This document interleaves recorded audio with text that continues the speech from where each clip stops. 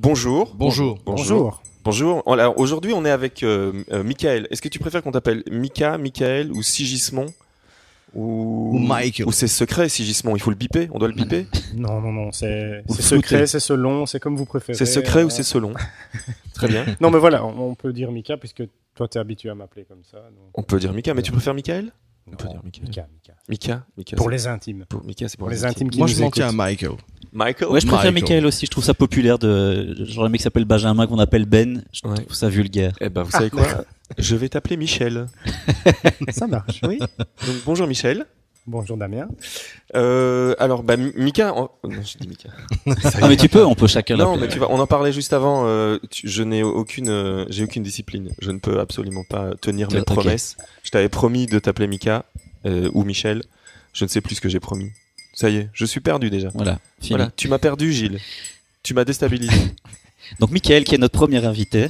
C'est vrai que c'est la première fois qu'on reçoit quelqu'un en dehors de nous-mêmes Ouais. dans cette émission. On aura fait une émission test à nous trois et Ouais, ça, ouais. ça fonctionne. Ça fonctionne. Bah Qu'est-ce oui. que tu veux dire par là? Bah oui. Bah ça ça a été quoi. On a eu des, des ça par retour. Et...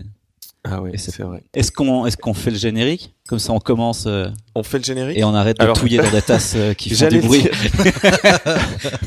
Mais c'était bien parce que Ça ça, va, faisait un bon. peu générique. Ça Oui. fait un peu musique. Parce que tu sais, sou- souvent les intros, elles sont, c'est des intros musicales. Les autres podcasts. voilà. Tout, tout, tout, tout, tout, tout, tout, tout, tout, tout, tout. Voilà. Ça, c'était l'intro musicale. On fait le générique. T'es prêt, Mika? Je suis prêt. Yes.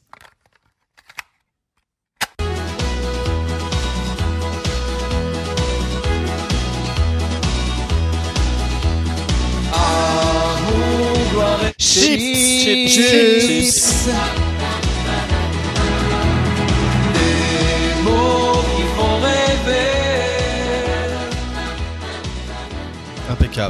Voilà. Il était bien. C'était pas mal. C'était super. Ouais. J'espère qu'on va le garder. Oh peut-être. Et donc on disait que nous sommes ici avec euh, Mika. Alors, bah Mika, pour l'histoire, euh, bah, je sais pas, ça fait quoi, 20 ans qu'on se connaît? Non, mais plus, Plus, Même 25, plus, oui, sans doute plus. 20, ça fait- voilà. Donc Toute une vie. depuis toute une Je vie. suppose qu'on passe d'abord par euh, une présentation. Ah bah si, ou- écoute, parfait. Parce que j'ai écouté le, le podcast précédent, donc moi, évidemment, je vous connais tous. Moi, j'ai pas du tout écouté, donc moi, j'en sais rien. Je sais pas de quoi on parle. Je sais toujours pas de quoi on parle. Donc voilà, si je suis ici, c'est probablement parce que je te connais, évidemment. Oui. Je connais Pierre aussi depuis le- assez Ah, longtemps. Assez longtemps. Bah, t'as eu il- sa maman comme prof. Voilà, c'est- ça, juste. Ouais, c'est fort possible. Mais il y a aussi très longtemps que je ne t'avais pas vu, en fait. hein. T'étais haut comme euh, trois pommes. Mais donc voilà, en fait, j'ai un passé musical avec Damien. C'est vrai, j'avais oublié ça. Mais comme beaucoup de gens, j'ai l'impression que plein de gens que je rencontre euh, Ouais, ont des passés musicaux. En fait, je suis un peu le maire de, le, le bourgmestre, le maire de Liège. Je connais tout le monde, j'ai Ouais, fait ouais. tout avec tout le monde. On va t'appeler Willy. C'est vrai que tu connais Ouais. beaucoup de monde. J'étais surpris. Je crois que je n'ai jamais reçu autant de notifications Twitter de toute ma vie que cette semaine-ci. Tu connais Ah tout le monde. Voilà. Ouais. C'était le, le ministre de la musique Exactement. à Liège. Ouais, ouais, ouais, exact. Voilà. Voilà. Allez, continuez, j'aime Et bien. donc vous faisiez quoi comme projet? C'était quoi votre... C'était quel style? Euh, Tu faisais quoi? Ben en fait, je pense que on a surtout fait nos, nos premiers pas dans la musique ensemble, quoi. Nos, nos premiers groupes de jeunes, entre Mhm. guillemets, et tout ça, quoi. Ça s'appelait Disco Shock.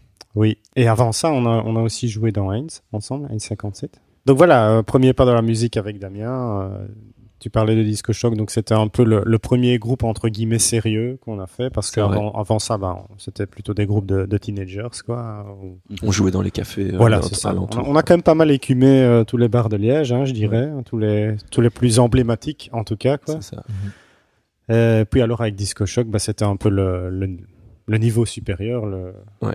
On a franchi un, un pas. quoi. On a même franchi une frontière. Avec Ouais. Disco, on Ah, était allé jouer à Amsterdam. Tout à fait. ouais. Ouh. Et ouais. Et puis voilà. Et puis, euh, bah, je pense que c'est comme un peu tous les groupes que tu commences quand t'es ado. À un moment donné, euh, ça se finit, quoi. Parce Voilà. que, bah, avec toi, justement, avec Pierre, on était parti à Bruxelles, donc c'était compliqué de répéter. Ouais, ça Euh, commençait à devenir difficile. Je pense qu'il y avait aussi, aussi, des, des divergences euh, au niveau euh, de, du projet en lui-même, quoi. Probablement.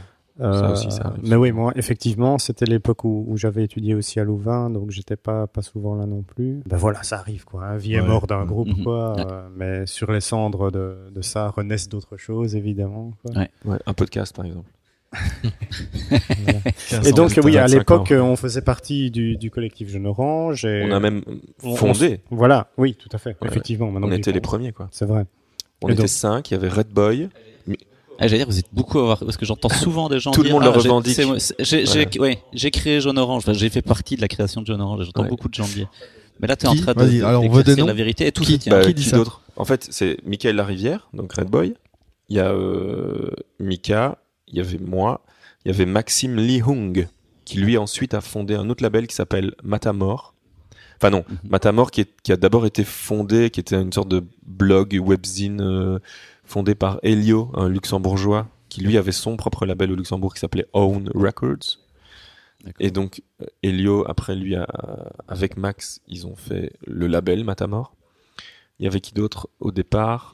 Non, JF, il est venu il- après. JF, c'était par la suite. Et Anthony, Par la non suite plus aussi. Anthony, c'était par la suite. Bah, D'ailleurs, au début de JO, je pense qu'il n'y avait pas eu tout de suite des projets d'Anthony dedans. Non, tout à fait. Il y avait une espèce de guéguerre nulle, je crois, entre son premier projet qui s'appelait Just My Life, Ouais. avant que ça s'appelle Piano Club.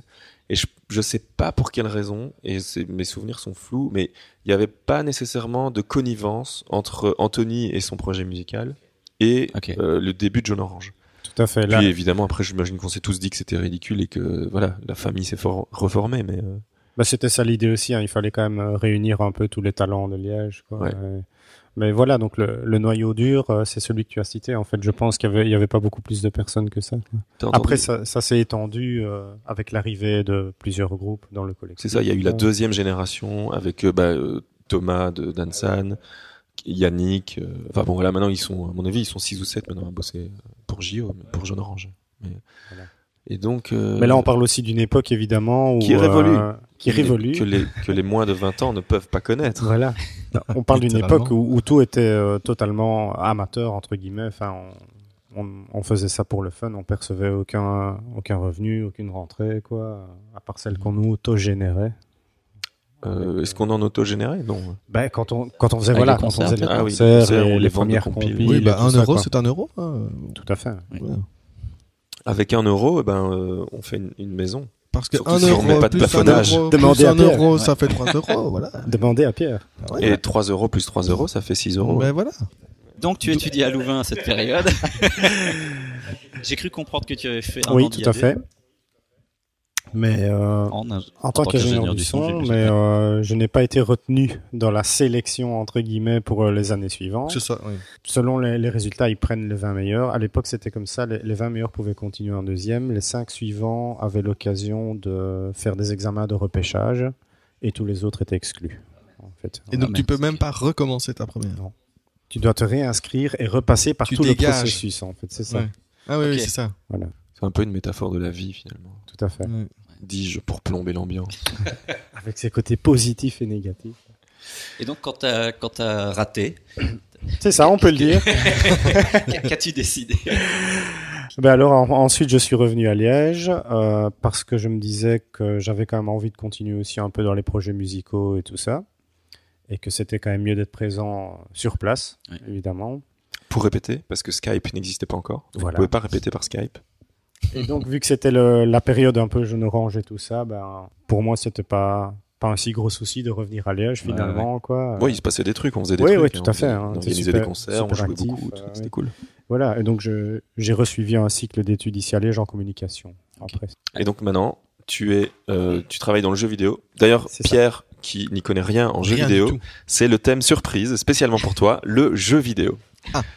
Alors, comment est-ce que tu es arrivé au jeu vidéo en, finissant la communication? Il y a eu quoi comme pont entre les deux?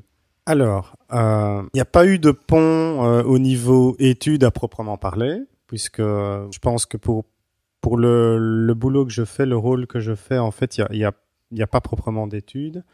Euh, dans mon cas, c'est juste que après avoir fini mon cycle d'études ici à Liège, pendant quelques années, j'ai cherché du boulot, j'ai envoyé des CV, des, centaines et des centaines de CV.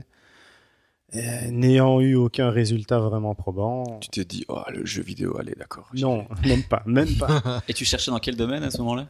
Toujours dans la communication, Ah, toujours, ok. au sens large du terme, Ouais, ouais. évidemment. Mais euh, comme tu peux imaginer, bah, déjà c'est un, un secteur où c'est pas facile de trouver. Alors en plus, quand tu sors des études et que t'as pas beaucoup d'expérience, Ouais, bah, pff, voilà quoi. Et donc à un moment donné, je me suis dit euh, bon, j'en ai un peu marre. Euh, si je trouve rien, je vais peut-être essayer d'élargir mon horizon. Et est arrivé en moi l'idée de faire peut-être une expérience à l'étranger. Parce que c'était aussi un, un truc qui me, qui me titillait depuis quelque temps. Quoi. J'avais envie de, de connaître une autre réalité. Et euh, bah, en cherchant comme ça euh, des boulots un peu ailleurs, je suis tombé sur une offre d'emploi au Canada, en fait, au Québec. C'était chez Ubisoft du coup, parce que je sais bien qu'au Canada ils sont fort présents. Et, Ils sont fort et présents, qu'il y a mais beaucoup de gens qui vont là-bas bosser justement. tout à fait, oui. C'était pas Mm. chez eux, mais il faut savoir aussi que euh, le jeu vidéo est fort développé au Canada, donc il y a énormément de, de boîtes qui sont implantées. Mais euh, la mienne, c'était pas Ubisoft, c'était euh, une boîte qui faisait de la sous-traitance. En fait, c'était pas des développeurs, mais ils s'occupaient d'une certaine étape du développement pour les développeurs, en fait. Ok. Euh, voilà, donc ce qui m'amène à parler de, de mon boulot. Tout se recoupe finalement puisque euh, moi j'étais à Tours ce week-end et que la plus grosse boîte de jeux vidéo vient de s'implanter à Tours. Enfin, Ah c'est bon ce qu'on m'a dit. À, com- Et tu ouais. sais à combien de kilomètres de tour À combien de kilomètres de Tours Aut- Autour de Tours. Et Au- donc, Au euh, quart de tout. au, quart, au quart de Tours. Et ils se sont implantés au quart de Tours. Quart et de donc, euh, voilà. Et donc, il y a une grosse boîte de jeux vidéo là-bas à Tours. Et apparemment, c'est un, un gros business qui amène aussi beaucoup de beaucoup d'emplois et tout ça. Donc, euh, Tu te souviens pas du nom, par hasard?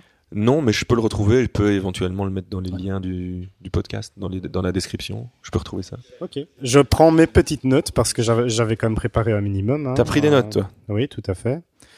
Euh, ben, je pense que ça sera utile, euh, notamment pour Pierre, vu que Ouais, moi j'y connais rien. voilà. Donc, qu'est-ce que tu fais dans le Et jeu vidéo que- ouais, quelle partie de- du jeu vidéo tu fais? Voilà. Alors, moi, mon boulot actuellement, mon rôle, c'est. euh, Attendez, je mets mes lunettes. Mets tes Hop. lunettes. Voilà. C'est euh, C'est génial. Ouais. Ce mec, il a préparé son podcast. C'est ça, quoi. Toi, au moins, tu l'as fait. Nous, on n'a rien aussi- préparé du tout. Bah, oui, ça c'est quoi C'est quoi ça Voilà. C'est toi qui as fait ça d'abord Ouais, c'est ça. Oui, c'est vrai C'est qu'on a toi préparé aussi un peu. Ah, il me semble bien. Et il, vous faut- il te faut des invités de qualité. aussi. Bah, évidemment. Voilà. Euh, voilà. Donc moi, je suis en fait chef de projet dans euh, ce qu'on appelle Localization Quality Assurance. ok. C'est quoi le dernier mot? Assurance. Ah, assurance. Ah, ah, Assurance. Assurance. D'accord. Assurance, voilà. Donc attends, Localization Quality Assurance. Donc si jamais je, je, je comprends bien ce que tu dis, tu t'assures que lorsque les gens qui téléchargent le jeu ou qui le qui, ou qui, qui jouent mais dans des pays différents aient euh, une traduction de qualité. c'est ça. T'as tout compris. Génial, en pas fait. mal. Voilà. Voilà. Voilà. Eh ben merci. Donc, euh, Eh, salut hein. pour expliquer un peu plus amplement, Quality Assurance, c'est assurance qualité. Mhm. Je ne sais pas si c'est un terme que vous avez déjà entendu. Bah je les ai entendus séparément. Ouais, ouais. J'ai déjà entendu ces mots-là. En fait, ça existe dans, dans plein de domaines, pas que dans le jeu vidéo. C'est tout simplement le, le fait que pour un produit quel qu'elle soit, on fait des tests pour savoir s'il sera bien comme produit fini, s'il sera conforme. Et donc, ça peut être euh, dans dans n'importe quel domaine, dans le, le software aussi, on fait de l'assurance qualité. Je pense que même dans tout ce qui est euh, bouffe, euh, des trucs comme ça. Et donc voilà, assurance qualité, c'est quelque chose qui existe euh, un peu partout. Et aussi dans le jeu vidéo. Donc, euh, avant d'aller plus loin, euh, on va rendre ça un peu plus interactif. Je voulais vous poser la question. Ah, Euh, yes. Ah, t'as vraiment- Ah, j'adore, oh t'as préparé si bien En que fait, c'est Voilà. ton podcast. C'est ça, c'est mon podcast. Voilà, ça s'appelle Je Moi, je voulais simplement vous demander à, à chacun d'entre vous, euh, est-ce que vous jouez? Si oui, à quoi? Sinon, pourquoi? Pourquoi pas? Quelle est ta couleur préférée? Quelle est ta couleur préférée? Et si oui, pourquoi? Yes, bah, euh, moi je propose qu'on Commence garde. par Pierre. On commence par Pierre. Je voulais le garder pour la moi. fin. Ah, tu veux le garder pour la non, fin non, mais en fait, on va le faire au début. Ah. C'est très bien. Ouais, vas-y. Je- bah alors, moi je ne joue pas du tout. Menteur. Absolument pas aux jeux vidéo. Sur ton téléphone, t'as bien un jeu. J'en ai Ton- pas. T'as pas de téléphone. Mais- même, même, euh, je, ouais, je bah, laisse-moi regarder. Je vais te montrer. Attends. Je vais regarder. T'as rien du tout. Alors, euh, Mets ton attends, il y a pouce. sûrement quelque chose Mets qui ton s'appelle pouce. jeu. Mets ton pouce. Mais Mets c'est ton fait. pouce. Vas-y, regarde, regarde. Ah, je viens de l'éteindre. Mets ton pouce. Mets ton pouce. Alors. euh, Non, alors moi j'ai eu quand j'étais gosse, j'ai eu une Nintendo. euh, La première plus, du nom, la- la NES? la, la 8 ou la 16 bits. euh. Ah ben voilà, t'as joué Euh, dans le ouais. passé quand Alors même. j'ai alors. j'ai eu euh, cette console Ok. euh, avec le jeu des Simpsons, Simpsons, euh, qui était horriblement dur, je crois. Et puis j'ai eu un deuxième jeu, c'était Tic et Tac. Voilà. Je les ai eu aussi tous les deux. Pareil, Euh, Simpson, j'ai jamais passé le premier niveau. Horrible. Oh, horrible. Il y avait beaucoup de jeux quand Alors, même à je- cette époque-là où. À la fin, le premier niveau, je le faisais, mais littéralement les yeux fermés. Quoi, des Simpsons? Oui. Non. Si, si, les yeux fermés. Ok. En, enfin, je connaissais toutes les commandes, tac, tac, après, monter, sauter, hop, à droite, à gauche, pop, pop, pop. Donc c'était avec Bart qui devait peindre des trucs en mauve. et Il Ouais, des ça. trucs, il y avait des, il y avait des aliens, euh, tu vois. euh, Ouais, ouais. Il faisait du skate tout le temps. Yes. Euh, donc voilà, j'ai passé le premier niveau, mais alors le deuxième, c'était Bah ouais, je- genre mille fois trop dur, Ouais, ouais, impossible. Et, euh, et voilà, je me suis arrêté là. Ah, c'était Ouais. ton Ah. expérience de vidéo s'est arrêtée à ce Tiens, moment-là. alors tic et tac, euh, C'était quoi pareil. encore? Mais euh, je me souviens, je crois, je me souviens que c'était dur, mais je sais plus comment ça se jouait. C'était quoi on- Comment ça se passait? Tu sais plus? Non, D'accord. Euh, il y avait qu'une manette. Avec une manette. Que- Voilà, non, je sais. Euh, Merci, voilà. Pierre. Mais du coup, voilà, euh, voilà je, je me suis dit, enfant, je, je devais avoir euh, 11, 12, maximum 12 Tu ans. t'es dit enfant Je comme si tu dit- te parlais à toi-même me en t'appelant enfant. Écoute, enfant. Écoute, enfant. Les Écoute mon petit. Je, je me revois me, me dire à moi-même, non, mais pff, ça m'intéresse pas en fait. Ah ouais. Déjà, Et si j'ai décidé à ce Si moment-là que si ça ne m'intéressait pas. Ouais. Et du coup, je- voilà, je ne joue plus du tout jamais aux jeux vidéo, ça ne m'intéresse pas.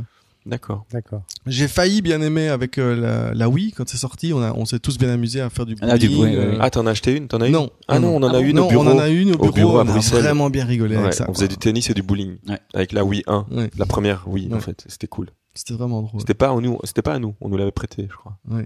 C'était pas un stagiaire qui l'avait amené. C'était un stagiaire qui l'avait amené et qui ne l'avait pas repris. Ouais, ouais, souvent, on- quand on l'amène chez quelqu'un, on, on la laisse ouais. là. Ouais, Ouais. c'est ça.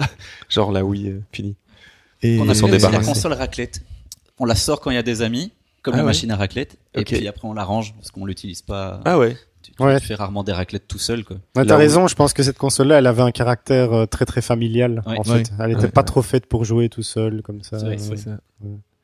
Ben euh, moi je passe après. Mais en fait, le- je Ah, termine. termine, Ah, vas-y. Parce que tu coupes tout le monde, mais moi je veux terminer d'abord. Ouais, te laisse pas faire. Ouais, merde quoi. Je me barre. Moi, je me casse. Et euh, moi j'aime la, la c'est vrai que la Wii on a joué genre avec mes parents, on a passé une soirée formidable, euh, un des meilleurs souvenirs de ma vie. Génial. Euh, Le, ciment très de la drôle. famille. Ouais. Tout comme, euh, tout Mais comme la fellation est le ciment de- du couple, du couple. la Wii est le ciment de la famille. Et voilà, voilà. Et donc voilà, les jeux, je, ça, ne- ça ne m'intéresse pas. Je, en fait, je ne... au-delà de ça, jouer tout seul devant, euh, c'est comme les jeux de rôle, ça m'intéresse pas non plus. Ah bon? Les jeux de rôle, C'est vraiment pas mon truc. c'est pas très drôle. Moi, je préfère jouer. Je m'arrête plus. Hein. Attends, et tu me cherches, hein, Gilles. Ah ouais, j'aime bien. moi. tu me cherches, hein. Moi, C'est vrai qu'il est que j'ai voulu lancé, faire un podcast avec toi. Moi, c'est à cause de tes blagues. Il est lancé, hein, c'est clair. Alors, euh, Ton expérience, Damien. moi, mon expérience, c'est que j'ai eu toutes les consoles, toutes. Vraiment. Toutes, toutes, toutes, c'est vrai. Bah après, euh, oui, sauf euh, les, par exemple la Neo Geo, non, elle était trop chère, je l'ai pas eu. Mais euh, la la NES, euh, la Master System à l'époque, Mhm. et puis génération 16 bits, donc la Super euh, Nintendo et puis la Mega Drive, je les ai eu. Les portables, j'ai eu la Game Gear, j'ai eu la première Game Boy, j'ai eu la Game Boy Color, et puis j'ai eu la PlayStation 2 et 3. J'ai eu la 1 Non, j'ai eu la PlayStation 1, 2, pas la 3. Et- Enfin, après, après la 2, j'ai arrêté. Ah. J'ai eu euh, la Wii 1. Non, la Wii 2. J'ai pas eu la Wii 1. J'ai la Wii 2, la Wii U en fait. La Mhm. Wii U, Ah, je l'ai à la maison là. On l'utilise pour regarder Netflix. Et puis là, dernièrement, j'ai eu la Switch. Mhm. Ok. Et euh, Oui, qu'est-ce- mais ça, c'est les enfants. non, non, la Ou Toi, Switch. tu dis que c'est. c'est Non, toi. j'ai acheté Zelda, mon vieux, c'est mortel Ouais. Zelda. Zelda sur la Switch, il est dingue. Mm. Et j'ai aussi Mario Odyssey qui est super fou. Ouais. Et euh, mais par contre, j'ai pas souvent le temps de jouer, donc J'allais dire, ouais, toi, tu Ouais, joues beaucoup, non? Non, Ouais. j'ai- j'adore quand je trouve du temps. Bah, par exemple, Zelda, la semaine où je l'ai eu, forcément, j'ai joué beaucoup cette semaine-là. Ouais. Puis depuis, euh, j'y ai plus trop retouché. Euh, et quoi d'autre? Là, maintenant, ce week-end, non, c'était le week-end passé. Léon, euh, mon fils, Mhm. a eu euh, Splatoon 2 Ah oui. sur la Switch. Il en veut plus. C'est tellement chouette, ouais. Il kiffe grave. Genre, c'est dingue. Il ne parle plus que de ça. Ouais, ouais. Et donc, euh, voilà. et, euh, Vega, elle, elle joue. Euh, non, je crois qu'elle a pas encore essayé Splatoon, mais par contre, elle joue à Mario Odyssey. Et euh, sinon quoi? Et sinon, bah ouais, les jeux sur euh, sur iPhone aussi. euh, je Ouais, ça fait partie du truc aussi. Ouais. Je me souviens qu'à l'époque, j'avais joué et je l'ai ré... je l'ai acheté quand il est sorti sur l'iPhone, mais euh, Another World. Mhm. Ah oui. Mais pareil, en fait, je crois que j'ai jamais réussi à passer le premier premier écran, quoi. Ah, Il y a quelques Super trucs dur. comme ça, ouais. C'est super super dur. Bah voilà, donc globalement, oui, moi j'ai toujours été intéressé par le jeu vidéo et je pense que c'est une bonne chose, le jeu vidéo. Moi, j'y crois. Je pense que c'est bien. J'y crois. C'est un bon débat aussi Voilà. lancer. Moi, le jeu vidéo, un- je pense que ça va marcher. Non. si, vous- si vous devez me demander mon avis, moi, je pense que ça va marcher. Le jeu vidéo, c'est un bon business. On peut investir dans le jeu vidéo. Ouais, Ouais, donc, si vous avez des idées de jeux vidéo, allez-y, foncez. Faut le faire, ouais. Et euh, voilà. Et toi, Gilles? Oh ben un peu pareil que toi. D'ailleurs, je suis surpris. Je ne m'attendais pas à ce que tu aies autant joué, mais j'ai aussi, euh, on peut dire, j'ai- toutes eues, mais j'ai pas tout eu forcément. Mais j'ai aussi eu vraiment tr- très jeune. D'ailleurs, mes parents ont fait l'erreur, mais ça n'a pas été une erreur. Bref, j'ai eu la télé et la NES dans ma chambre quand j'étais en deuxième primaire, donc je devais avoir 7 ou 8 ans. Et j'ai toujours eu la télé et des consoles dans ma chambre. Et je n'ai jamais raté une année. Et j'ai fini par avoir mon, mon- mon diplôme. Enfin, j'ai pas eu plus, hein, comme j'ai dit la dernière fois, mais donc j'ai pas, j'ai pas trop mal tourné malgré le fait que je joue beaucoup. C'est ça. Et donc, ouais, j'ai beaucoup joué à la NES. Puis on a eu la Super NES. Et puis on a, on a plus toujours été vers Nintendo. J'avais pas eu de PlayStation quand elle est sortie. Parce que je n'aimais pas tellement les jeux qui étaient dessus. euh, voilà. Maintenant, j'aime bien, mais moins à cette époque-là. Et puis ben, je continue toujours maintenant beaucoup euh, à jouer. Là, je viens justement d'acheter la Xbox One X parce que mon ordinateur, parce que j'ai aussi beaucoup joué sur ordinateur, devenait un petit peu juste pour jouer à Far Cry 5. Et je, comme j'ai hérité d'une télé 4K, je me suis dit, oh, essayons d'avoir une console qui gère la 4K et tout le bordel. Donc voilà, j'ai investi là-dedans. Donc les derniers trucs auxquels j'ai joué, moi, c'était Far Cry 5.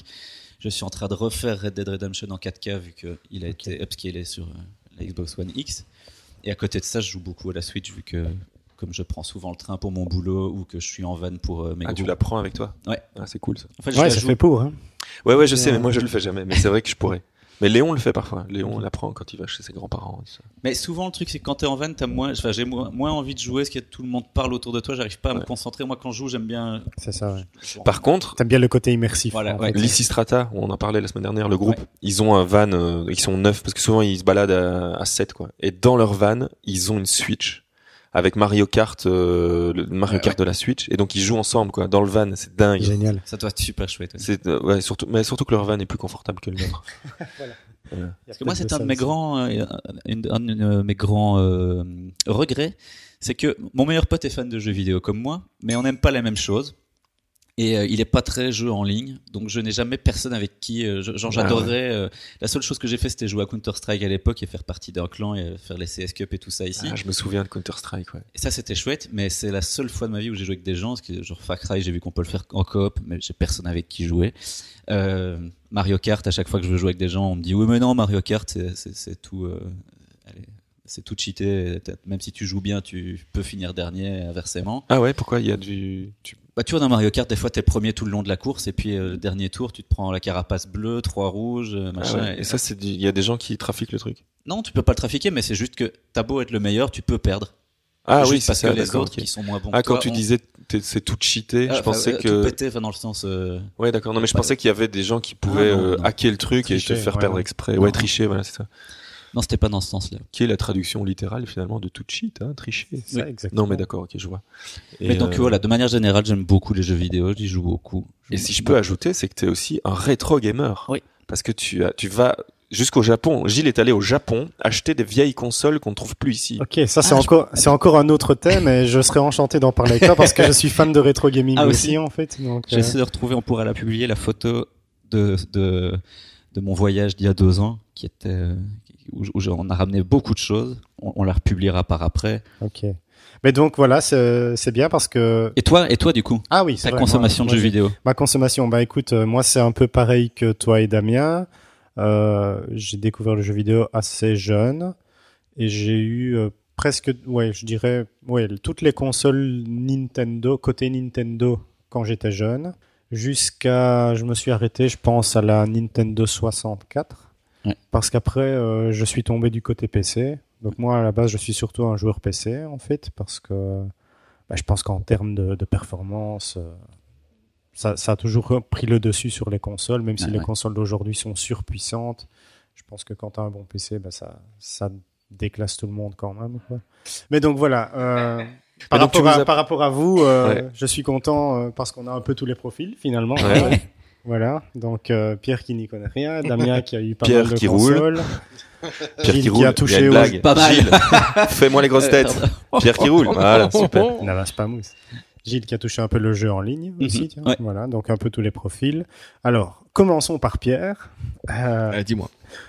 Oh là, c'est vraiment un- takeover de Ouais. l'émission, quoi. Voilà. C'est l'émission de Mika, il gère tout, quoi. C'est ça. Mais c'est c'est pour faire le lien C'est avec bien, mon boulot surtout. Donc euh, à Ouais. l'époque où tu avais ta console, Ouais. donc c'était des jeux qui avaient quasiment aucun texte. Quoi. Le, le seul texte que tu Ouais, pouvais voir, non, c'était euh, ouais. press start, euh, Ouais, des ouais, trucs ouais, comme ouais. ça, des, des, des menus d'options peut-être réduits au minimum. Il y avait quand même de temps en temps une petite bulle qui te disait euh, attention. euh, Voilà, c'est ça. Mais très très peu. Est-ce que c'était traduit ou c'était en anglais? Moi, je pense. Ah, j'ai vague souvenir que c'était pas traduit. Voilà, ouais, exactement, ouais. exactement. Peu de jeux étaient traduits à l'époque. Ouais, Je pense ouais. que c'était surtout les jeux les plus populaires. Ouais. Donc à l'époque de la Nintendo. Et encore, toi, tu me disais que tu avais la, la NES, la, la toute première. Non, non, non, non. La Super Nintendo? Non, c'était avant ça. Avant ça, ok. C'était. Euh... Oui, c'est Bah, avant la NES, ça, peut... bah, ça c'est- devait être la NES, quoi, la Nintendo de Oui, la- base. La Nintendo classique, la normale. Ah hein, oui, c'est ça. ouais. Oui. Mais c'est Ouais, vrai que celle-là, j'y connais rien. La donc, toute euh, carrée, toute cubique, là, qui Ouais, c'est ressemble à ça. une Fiat Avec, Panda. euh, tu avais un, un, Très bonne comparaison. Bah, évidemment. La Fiat Panda. C'était la Fiat Panda du jeu Il vidéo. y a un ouais. truc qui Ouais. se souvenait. T'avais des- t'avais une grosse une grosse disquette. C'était pas Ouais, une ouais. disquette, c'était comme une cassette. Oui, une grosse euh, cartouche ouais. grise. Une hein. Oui, c'est ça. Et C'est puis ça. tu l'enfonçais, ça faisait un gros. Exact. T'en- T'enfonçais la Ça cartouche. C'est ça. C'est Ça, c'était c'était le meilleur moment en fait pour moi. Le. Ouais, Quand le. C'est ça que je préférais dans le jeu. Tu préférais enfoncer la cartouche. Ouais. Mais donc voilà, effectivement, les jeux à cette époque-là n'étaient pas traduits en fait. À l'époque de la Super Nintendo, Ouais, je pense que c'est les jeux populaires qui ont commencé à être traduits comme le Zelda, Ah, par exemple. ça. Zelda. Le Zelda En était en français. français, En français, ouais. Ouais. mais ils n'étaient pas tous. Hein. Je pense que par exemple, les- tout ce qui était Mario, ça restait encore en anglais à l'époque. Euh, Il y je avait ne les- saurais pas le dire. Pourtant, je... Super Mario, World et tout ça. Ok. Bah, j'allais dire, je l'ai refait, mais sur la Super NES Mini, dont rien n'est traduit, donc ça Ah pas oui, voilà, ok. Donc voilà, à l'époque où tu avais tes jeux vidéo, Mhm. mon métier n'existait pas, évidemment, parce qu'il n'y avait aucune raison de le faire. Quoi. Maintenant, dans les jeux d'aujourd'hui, tu ne le sais peut-être pas, Damien et Gilles le savent, euh, les jeux d'aujourd'hui sont des véritables films, en fait. hein. Donc, c'est, c'est des trucs qui sont techniquement incroyables, euh, au niveau graphisme déjà. Avec un scénario. et- Mais voilà, Ouais, surtout au niveau ouais. de l'histoire, il y a un véritable scénario dans la plupart des jeux, euh, qui parfois est un peu bancal aussi. Bon, ça, ça dépend d'un jeu à Ouais. l'autre, quoi. Mais euh, surtout, il y a beaucoup, beaucoup de textes désormais, en fait. On parle ici de dialogue, parce qu'il y a, il y a beaucoup de cinématiques entre deux chapitres d'un jeu, par exemple, quoi. Euh, où il y a bah, des gens qui parlent entre eux et tout ça, Ouais. donc beaucoup de dialogue. Tout ce qui est options et menus, euh, c'est devenu aussi très très développé, quoi. Tout ce qui est didacticiel aussi, parce que faut savoir qu'à l'époque des, des vieux jeux, ben Oui, t'avais un bouton AB. Voilà. C'était très simple Exactement. au niveau de la jouabilité. Exactement. C'était compliqué, mais ils ne te l'expliquaient quand même pas. C'est ça, trucs de exactement. sport où tu devais trouver comment, ouais. tout à fait. Ou alors, si t'avais de la chance, t'avais un manuel où on t'expliquait quand même les trucs de base. Genre les fatalités dans Mortal Kombat. Ah oui, et puis ça, c'était l'enfer. ouais. Ouais. Ouais, tout à fait. Bon exemple. J'ai Ouais. des, bons, j'ai des bons exemples. Voilà. Je suis quand même un mec, un mec euh, cultivé. hein. Mais désormais, dans les jeux Finalement. actuels, tout, tout se passe à l'écran. Donc, euh, Et, euh, et mais en fait, c'est ça, j'allais le dire. En fait, la traduction, elle se fait pas seulement dans le texte, mais il y a aussi du doublage. tout à fait, oui. Ça fait Donc, partie en fait, aussi de pas mon que de la boulot, quoi, traduction de parce que texte à l'écran. quoi. Désormais, il y a de l'audio aussi. Donc, à Ouais, l'époque de- des Simpsons, Ouais. c'était juste des petits bruits en 8 bits, Ouais, évidemment. hein, des, des Et donc c'est carrément une quoi. prod, euh, prod comme une prod de film. Quoi. Voilà, tout à fait. D'ailleurs, euh, par rapport à ça, euh, les budgets qui sont alloués aux jeux vidéo ont désormais dépassé le domaine du cinéma. en fait. Mais non, Ah, carrément. Si, si, oui. Ok. oui. C'est- il est question vraiment de Source. milliards. Hein. mais non, Ouais, écoute, Non, non, voir non, sur. Wikipédia. non, mais c'est dingue. Jamais j'aurais pu imaginer ça, que ça dépasse euh, le cinéma. Oui, hein, bah, là évidemment, je te parle de, des plus grosses boîtes, hein, pas, pas des petits développeurs indépendants. Genre, Ouais, ouais, ouais, je, je me demande si c'est, est-ce que c'est pas GTA 5 qui, qui est un des jeux qui a coûté le plus cher? Exactement, ouais, très bon exemple. Combien ça C'est quoi le budget de un, un, un jeu comme ça? Alors ça, évidemment, vu que j'ai pas eu le temps de préparer à fond, j'ai pas pris les chiffres, mais euh, je vous Bah. invite à aller vérifier ça sur internet. euh, Ouais. Ou alors on mettra le Une lien, hein, échelle. comme c'est, d'habitude. on est on est dans dans Mais les. Des fois, il est question 100 vraiment de millions millions d'euros. Oui, c'est ça, exactement. Par exemple, GTA 5, il a coûté 260 millions de dollars Bah oui. Voilà. Bah voilà. et il pourrait en rapporter 1 milliard en 6 mois. Donc ça, c'était une news avant que GTA 5 ne sorte. Et maintenant, il est sorti il y a des années. Donc il a dû en générer. Des Déjà, milliards. moi, je l'ai acheté trois fois. J'ai acheté une fois sur PlayStation 3, une fois sur PC, et je l'ai racheté sur Xbox One X. Ok, C'est combien un jeu? Une soixantaine d'euros en moyenne. ouais, c'est ça. C'est ça. T'as des fois sur PlayStation, ça va jusqu'à 70. Parfois sur la Switch, c'est 40-45, ça Ouais, dépend voilà. vraiment. Mais ça, c'est à leur sortie, hein, parce que si, si après t'es pas pressé de faire un jeu et que t'attends un peu, ben, les prix diminuent assez vite. Ouais. En fait, quoi, tu peux le retrouver soldé assez rapidement, Mhm. 30 euros, 20 euros, même 10 parfois. quoi. Ça dépend si tu es un hardcore gamer ou pas, que t'attends un jeu avec impatience et tu, tu mets quand même les 60 euros pour y jouer, quoi. Mais donc voilà, pour revenir à ça, dans- en termes de budget, euh, c'est tout à fait énorme, hein, bien sûr. Mhm. Donc ça veut dire que bah, ça a créé toute une industrie par rapport à ça, et notamment des nouveaux métiers, donc comme celui qui est le mien.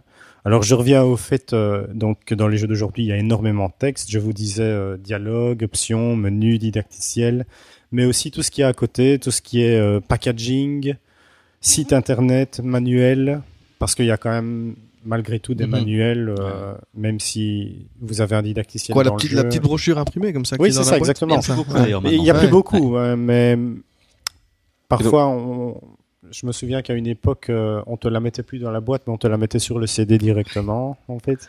Et vous, vous occupez de tout ça aussi. Donc, Oui, pas- tout à fait. Vous- Ah, c'est pas que la traduction, c'est aussi tout ce qui est manuel et. Non, mais la traduction. La traduction Ah oui, de- tous ces supports-là, en fait, voilà. ouais. Pas que du jeu en lui-même, mais de tout ce qui l'entoure aussi. Ouais.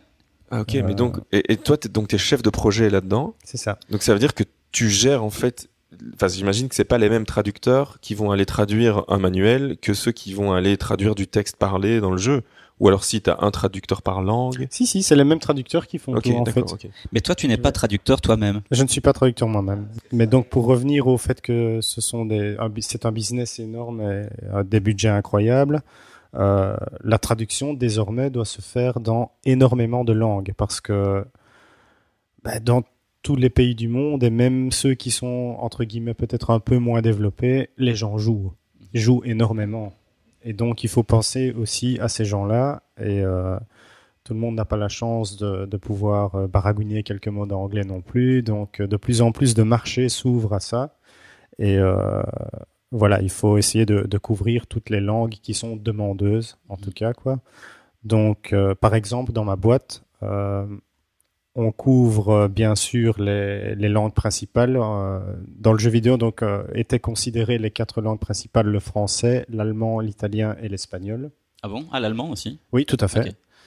Et désormais, il y a des marchés émergents parce qu'il y a une forte demande qui sont des langues un peu plus slaves, Exotiques. exotiques, oui. Par exemple, euh, le, le polonais, le tchèque. Ah ouais.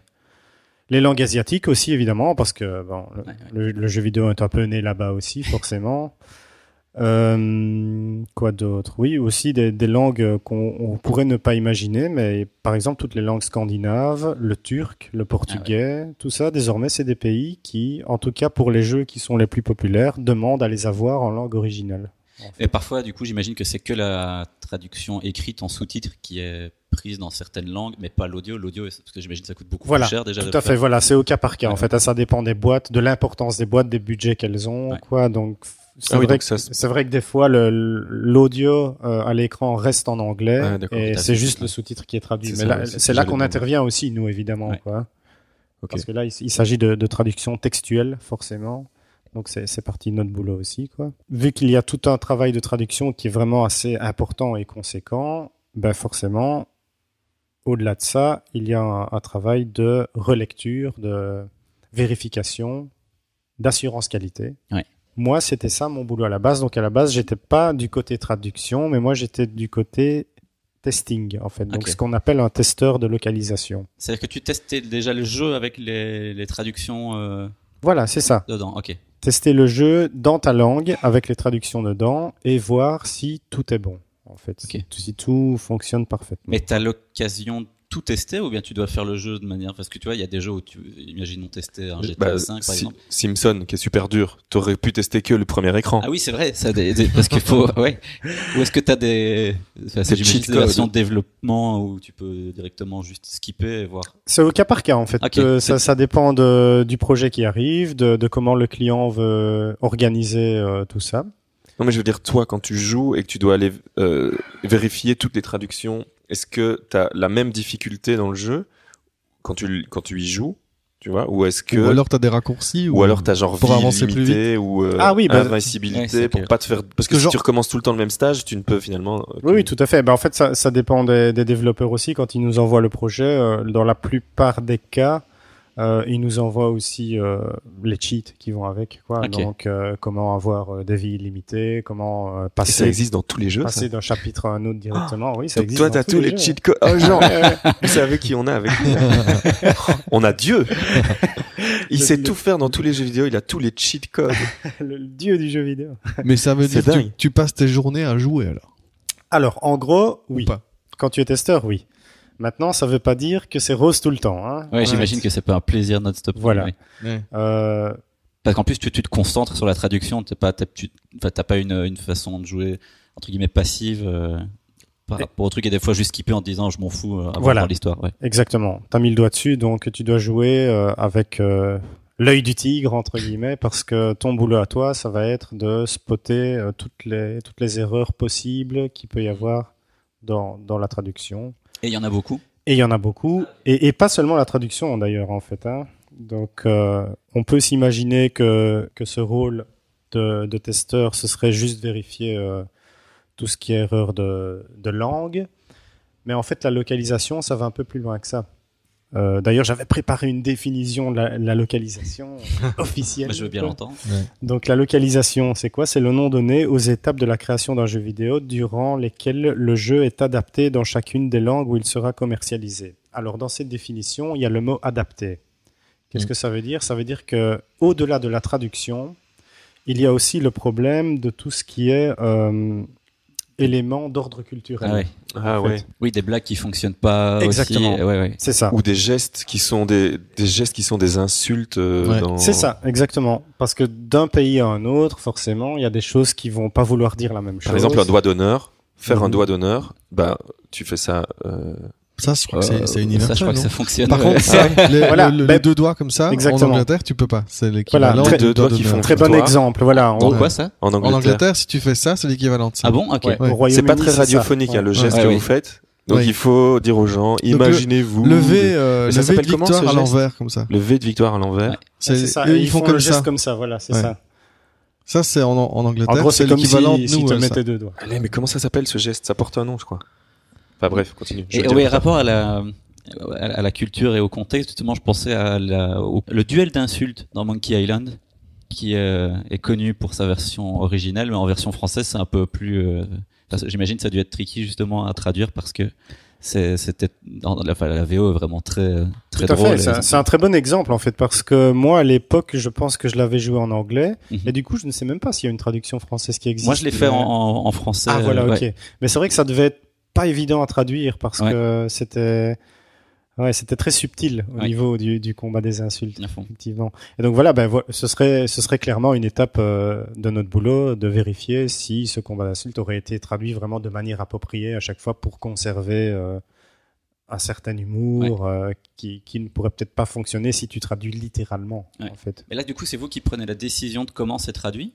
Non, alors Parce que c'est presque une direction artistique. Ça, du- c'est- ça c'est toujours le traducteur, hein, normalement, qui, qui prend cette décision-là. Mais alors, il faut savoir que le traducteur, en général, n'a pas le contexte. Ce qui arrive euh, souvent dans, quand il s'agit de l'étape de traduction avant de l'étape de, de testing, euh, le traducteur reçoit en gros des fichiers Excel avec des lignes à traduire et il n'a aucune image du jeu en fait. Donc euh, la seule chose qu'il puisse faire c'est poser des questions au développeur par email en lui demandant euh, ouais on a un souci avec euh, ce mot-là, on sait pas trop euh, comment l'utiliser dans ce contexte-là.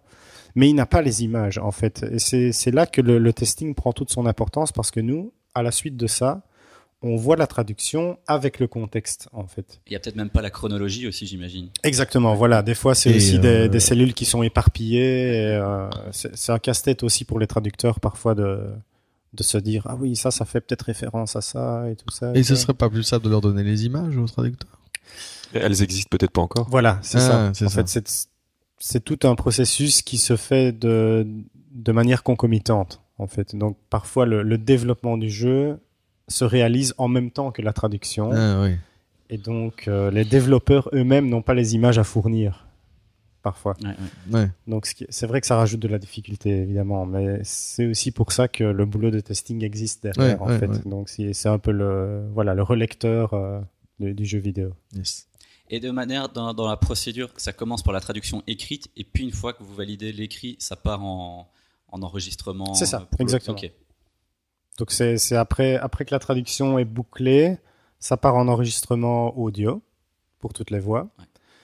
Euh, et bien souvent, c'est un petit reproche que nous euh, dans le dans le, la partie testing on fait, c'est que pour euh, pour épargner un peu des sous, parfois il faudrait peut-être attendre que le, le texte écrit soit testé et vérifié avant de partir en audio, parce que bien souvent on tombe aussi sur des bugs qui Ouais. étaient des bugs de traduction. Alors l'audio a été enregistré derrière, mais du coup l'audio est faux aussi. Ouais, ouais.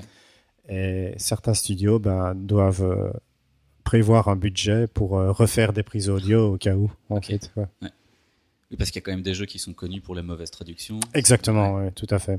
Ça concerne aussi des éléments d'ordre culturel. Euh, on parlait de, de blagues, hein, tu disais Ouais. euh, les blagues qui pourraient pas passer, quoi. Mais il y a aussi tout ce qui est bêtement euh, unité de mesure, référence Ah ouais. spécifique euh, sur un pays, euh, la monnaie aussi, des- le format de, des dates et des heures, par exemple. Mhm. Tout ça, c'est des trucs auxquels on pense peut-être pas forcément, mais ça fait partie de la, la localisation aussi. Euh, tout ce qui est aussi euh, sujet tabou, en fait. J'ai quelques exemples con- concrets. Pour tout ce qui est, par exemple, unité de mesure et tout ça, si vous jouez à un jeu en français et qu'on vous parle de gallons et de miles, Ouais. ça vous dira pas grand-chose, Non. hein, évidemment. Donc on, on doit vérifier ce genre de truc aussi. Quoi. À part les 88 miles à l'heure. Ah oui, ça, ça, tout le monde, ça va. ouais. Ça, c'est resté, hein, évidemment. Mais c'est Euh, combien de kilomètres heure finalement 140 plus ou moins, c'est pas ça C'est un peu plus, je crois. Quelque chose comme ça, ouais. 140. Pas bon, c'est pas très précis tout ça. je.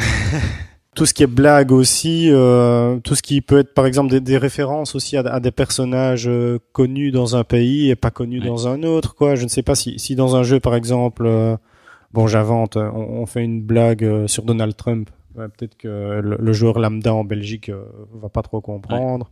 Donc il faut adapter ça aussi. On va peut-être faire une blague sur Sarkozy en français, sur. Berlusconi en italien. Tu vois, on, on adapte ce genre de, de situation, quoi. Et alors, euh, pour ce qui est sujet tabou, j'ai pris un exemple concret auquel on a eu affaire encore il n'y a pas longtemps, quand on a, on a fait le testing pour euh, Wolfenstein 2. Ah oui. Donc, euh, je suppose que vous connaissez Ouais. Wolfenstein, vous savez de Oui, quoi il s'agit. Hein. Mhm. Alors, il faut savoir que actuellement, il y a toujours ce problème en Allemagne, tout ce qui est référence à la, à la, se- à la Seconde Guerre mondiale, donc Hitler, les Ouais. nazis, les croix gammées. Je vois pas de quoi tu parles. Ah oui, ce truc euh, inventé par les médias. Voilà. tout, tout ce qui est euh, référence euh, symbolique, en tout cas, euh, n'est toujours pas accepté en Allemagne. Il y a toujours une, une forme de censure par rapport à ça. Ouais. Tu sais que j'ai une anecdote par rapport à ça. Euh, tu peux pas avoir euh, sur la plaque de ta voiture le SS. euh, ne- tu ne peux Ah ben pas. voilà, tu Ouais. vois. En Ouais, Allemagne ou partout En Allemagne, ils, ne, ils ne le donnent pas. Oui, oui, tout à fait. Ils sont toujours frileux Ouais. par rapport à ce Ouais, genre de choses, effectivement. C'est c'est exactement le cas dans le jeu vidéo aussi, en fait. Donc si, si Tu peux pas avoir de voiture. euh, tu Non. peux pas avoir de voiture. Tu peux pas avoir de. Volkswagen. Tu Voilà. peux pas avoir de BMW. Non, mais de manière graphique, euh, si euh, bah, dans, dans ce Wolfenstein tu vois un, SS écrit quelque part, c'est en Allemagne ça passe pas. En fait. Ah, mais il peut être ailleurs par contre. Il y a des pays dans lesquels tu vas avoir clairement, ils vont avoir leur euh, brassard SS ou un truc comme ça. Voilà. Et juste en Allemagne, il faut pas qu'on voit. juste en Allemagne, voilà. Ah, ok, je pensais que dans ce cas-là, le, le jeu en entier n'avait pas le droit de le faire. Non, non, pas du tout. euh, c'est ça qui est un peu ennuyeux finalement, c'est que par exemple dans Wolfenstein 2, il a dû y avoir une version spécifique pour le marché allemand qu'on a dû revoir à part juste pour ce problème-là. Donc, ils ont dû redessiner les, fait, ouais. costumes. Ah parce que du coup, ça, oui, ça C'est va ça, plus loin voilà. que C'est la traduction. Exactement, voilà. quoi. Ils ont dû redévelopper le truc. Ils ont redéveloppé le truc. Ah ouais, Donc par exemple tout ce qui était euh, croix gammée à l'écran, ils se sont inventés un symbole euh, qui, Ok. qui ressemblait vaguement mais qui faisait pas trop allusion à ça quand même ça. quoi. Et c'est marrant parce que ça, j'y pense, même dans les vieux jeux, il y avait quelques règles comme ça. Il y avait des pays, euh, genre où Mortal Kombat, on on pouvait pas avoir de sang, Oui, ou des jeux dans lesquels le sang devait être vert et pas des Voilà. trucs. C'est un autre exemple de, de tabou culturel. Euh, on a eu un souci par rapport à ça aussi, je ne sais plus avec quel jeu, pour le marché asiatique. En fait, euh, je pense que c'était pour la Chine, il fallait euh, réduire euh, les images de sang et tout ça parce que c'était trop pour eux, quoi, pour, Ah ouais. pour leur standard en fait. Et j'ai vu un épisode du jour de grenier où je sais plus dans quel jeu, dans un jeu de, un jeu de baston où il y a des filles ou un jeu de volet, je sais plus, où c'était genre le fait qu'on voit les culottes ou pas. Oui, Au tout à fait. du coup, on voyait un peu trop. Et Voilà. ont-. C'est un autre bon Ah, exemple. C'est que là, par exemple, c'est, je pense que c'est le marché américain qui parfois censure un truc qui Ouais, est un peu trop sexuel à l'écran, quoi. Voilà. Donc, il faut vraiment s'adapter comme ça à chaque, chaque pays, euh, chaque Et donc ça, c'est coutume. votre rôle de vérifier que ça a été fait. Voilà, tout à fait. Ok. Mais Et- vous, il n'y a, pas de dans, dans ta boîte, il n'y a pas d'aide traducteur. Votre boulot, c'est de s'assurer que le travail a bien été fait par d'autres Oui, personnes. Vous Voilà, avez des ça. Mais vous traducteurs. ne traduisez pas. On ne traduit pas quand on est testeur, mais euh, selon les boîtes, euh, tu peux avoir aussi le département traduction euh, dans la boîte. C'est ce qui est, c'est Ah, c'est vous notre cas. caché, En fait, nous on a plusieurs lignes de service qu'on offre aux clients. Oui. Et euh, on est peut-être une des rares boîtes qui offre les, les trois services principaux, à savoir et la traduction, et l'enregistrement audio, et le testing. Ok. Mais, mais toutes les boîtes qui font du, du testing de localisation n'ont pas ça. Je crois, je pense que c'est grâce à ça qu'on profite de certains clients assez importants, comme Bethesda par exemple, qui est notre client principal. En fait, on, Ok. on, on fait pratiquement tous les gros projets de Bethesda. Donc là, tu as pu déjà tester Fallout euh, 76 et tout ça. Alors, Tu ne peux pas le dire. Ah, mince. voilà, oui, exactement. Ok. Euh, je peux pas trop en parler, mais, bon, Mais oui. voilà, t'as t'as fait le lien par toi-même. Euh, Ça, va arriver probablement. Ouais. Ok. J'imagine que vous avez des contrats de confidentialité. Exactement, Comme ouais. et ok. C'est ça. On peut, on peut pas en parler. On peut pas. euh, Mais on peut en parler. De toute façon, personne n'écoute le podcast. On est entre nous. Il y a que nous quatre qui, euh, Ah, qui mais allons ce serait une façon de se démarquer. Tiens, vous voulez des infos sur les prochaines sorties Bethesda? Écoutez Oui. Amour, Gloire et Chips. Hop, on prend un Hop. million d'abonnés en Voilà. une fois. Voilà. Oh putain. Et, et moi, je perds mon boulot demain. Ok, cool. Pour revenir à ça, je sais plus si c'est Pierre qui avait mentionné ça tout à l'heure, de qu'on passe nos journées à, à jouer au jeu. En fait, Ben, voilà, on peut avoir des, des très chouettes projets comme ça. Mais je disais, c'est pas rose tous les jours parce qu'on peut aussi avoir des trucs complètement inintéressants à côté, quoi. Donc, comme, comme je te disais. Un quiz. Bethesda est notre principal client, Ouais. mais à côté, on a d'autres trucs et parfois aussi des, des petits développeurs indépendants hein, qui font Ouais. leur- leurs petits jeux sur iPhone ou quoi et qu'on doit tester. Et alors, il nous est arrivé d'avoir des trucs, tu sais, ces, ces jeux où tu tu t'occupes d'un animal. euh, tu as ton petit chien ou ton petit singe, tu dois juste lui donner à manger, l'habiller. euh. Ah oui, d'accord. Ça m'est arrivé d'a- d'avoir ce genre de truc à tester, en Ouais. fait, tu vois. Donc, euh, là, évidemment, c'est un peu plus. Le plus bof quoi. C'est pas rose non plus dans le sens où même les projets les plus intéressants, parfois on te demande euh, de refaire euh, un chapitre en boucle parce que il y a un truc qui va vraiment pas et tu dois te concentrer là-dessus pendant des jours et des jours quoi et alors euh, souvent ce qui arrive c'est que ben, on teste jusqu'à en vomir pratiquement quoi voilà. Tu avais l'air de me dire la dernière fois qu'on s'est vu que à cause de tout ça, finalement, tu joues plus vraiment pour le plaisir. Tout à fait, effectivement. Et donc voilà, ça t'a un petit peu coupé l'envie. T'as plus l'envie d'avoir envie. Exactement. C'est fini, tu joues plus en fait. Ben, en tout cas, plus comme avant. Ouais. Depuis que c'est devenu un boulot et que je passe par euh, toutes ces situations qu'on vient d'évoquer, ben forcément, quand je rentre à la maison, après, euh, j'ai pas spécialement envie d'allumer un écran et de revoir encore un jeu Bethesda entre autres. et ouais, je, je joue plutôt de, de manière plus épisodique maintenant. Ok. En fait. Et peut-être que il y a un lien de cause à effet, mais euh, on parlait tout à l'heure de rétro gaming. Ouais. Je crois que je reprends plus de plaisir à jouer à des vieux jeux où il n'y a pas trop trop de dialogue, tu vois, où c'était assez simple. euh, euh, ouais, c'est vrai que ça, ça peut contribuer à, à te dégoûter. Mais bon, ça c'est moi hein, évidemment parce que il y a, il y a aussi des, des passionnés. Dans, dans certains de mes collègues testeurs, ben il y a aussi des des gens qui sont geeks à 200%. Donc Et qui rejouent quand même le voilà, soir. qui, quoi. qui font que ça après le soir en fait, qui ouais, passent toute leur soirée à jouer quand même en ligne et tout, et même une partie de la nuit, et qui, qui carburent euh, au Red Bull pour pouvoir tenir le coup euh, entre boulot et, et plaisir. C'est ça. faut savoir aussi qu'on, en tant que testeur, on fait pas non plus ce qu'on veut. C'est toujours le client qui est, qui est roi à la base, qui décide. Et donc, euh, des fois, ce qui arrive, c'est que en tant que testeur, on sait très bien qu'il y a encore toute une partie du jeu qui est toujours pas bonne. Mais le client, parce qu'il est arrivé à la fin de son budget, va te dire non, on arrête là le testing, quoi. Et ils sortent le jeu comme ça, en fait, en se disant on aura l'occasion de corriger ça avec des patchs par la suite, euh, des mises à jour, des DLC. Maintenant, on parle beaucoup de DLC, quoi. Euh, donc voilà, ça peut avoir aussi un côté frustrant parce qu'on se dit euh, voilà, mon nom va être associé à ce projet-là, Qui est, ouais, qui est pas tout à fait. qui est euh, pas top, qui va sortir comme ça, qui a un, un peu de la merde sur la dernière partie, par Mhm. exemple, quoi. Mais voilà, c'est comme ça, on doit faire avec. C'est c'est un peu euh, euh, essayer de prendre du recul par rapport à ça, pas prendre ça trop personnellement, Ouais, ouais. quoi. voilà. Et je me demandais, vous arrivez à quel moment dans le processus de développement? Ça, c'est- enfin, J'imagine après, ça dépend aussi de tous les projets, mais. Très bonne question. Je l'avais préparé aussi. Ah, parfait. Donc euh, voilà, au niveau du flow, de comment ça se passe. Donc le jeu est développé. euh, en parallèle à son développement, la traduction est faite. Euh, et alors, euh, une fois que toute la traduction est bouclée, on l'a mentionné tout à l'heure, s'il y a de l'audio, la traduction part en audio pour, pour, euh, pour être enregistrée. Et alors, nous, les, les testeurs, on arrive un peu en fin de cycle. Un peu euh, quand tout ça est terminé, plus ou moins, de, de, enfin, en gros, quoi. Hein, le, le gros du truc, quand le gros du truc est fait, euh, le jeu part en testing. C'est ce qu'on euh, appelle la version alpha. C'est ça, voilà. ça, ouais. Euh, et donc là, ben, le, le projet arrive chez nous. Et euh, les testeurs sont assignés dessus euh, selon les langues qui sont demandées. Et euh, voilà, on commence et on commence à rapporter des bugs sur toutes les erreurs qu'on voit à l'écran. Et alors ça, ça se fait de, bah, manière complètement automatisée. On a des bases de données qui sont dessinées pour ça en fait.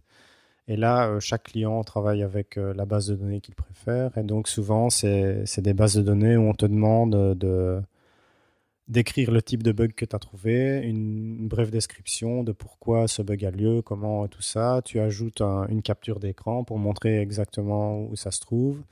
Et ensuite, ce, ce rapport de bug part chez l'éditeur qui le relit, qui dit Ah oui, effectivement, il y a ce problème-là et tout. Lui l'envoie au développeur qui est en général euh, celui qui, fixera le tout, quoi, qui, réparera le bug, entre guillemets.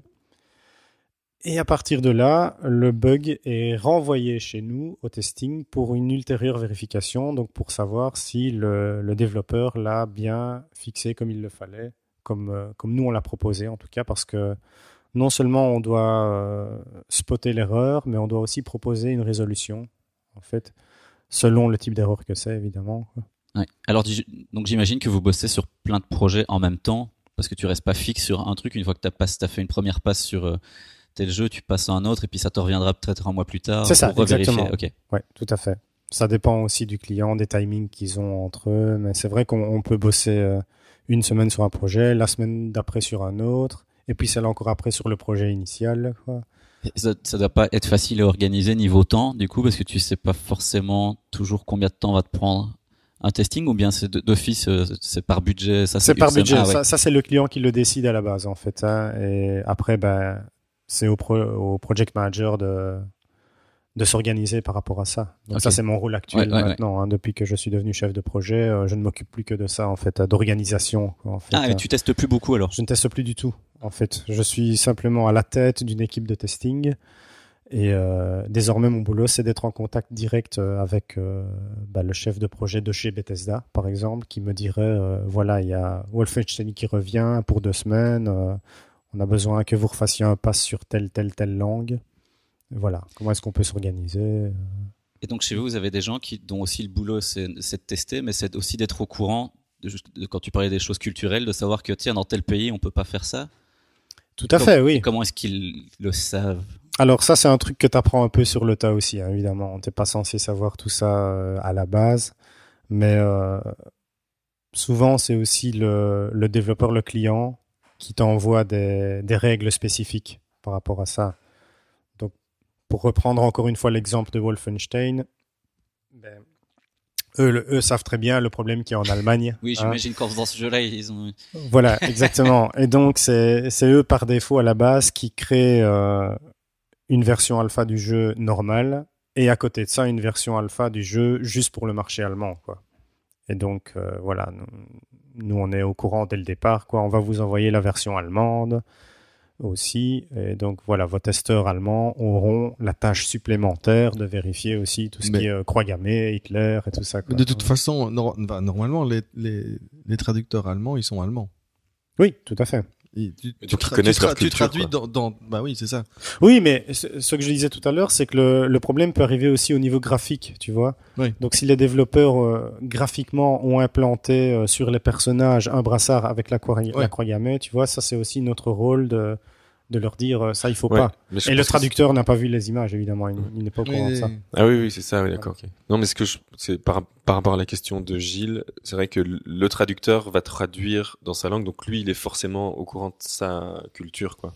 Oui, mais t'es pas forcément au courant tout, j'imagine. Enfin, il y a ce- certaines fois des genre si on me, si on devait me demander de tester un truc en Belgique, et, Ah et ouais, je le trouve très bien et c'est hyper gore et peut-être qu'en fait il y a une loi chez nous qui pas dit au ah, bah, courant on peut qu'on peut pas. pas montrer des frites, quoi. Voilà, C'est ça. exactement. Ouais, Bah, bah, ça peut être. Ah oui, Parce que moi, ça Bon me choque pas. ouais. D'ailleurs, on peut pas montrer des frites en Belgique à l'écran. Non, on peut pas. interdit. non. Ah, c'est interdit alors. Ouais, ouais, Ouais, ouais. c'est Ouais, pour ça qu'il y bah, y en avait déjà pas dans, dans les Simpsons à l'époque.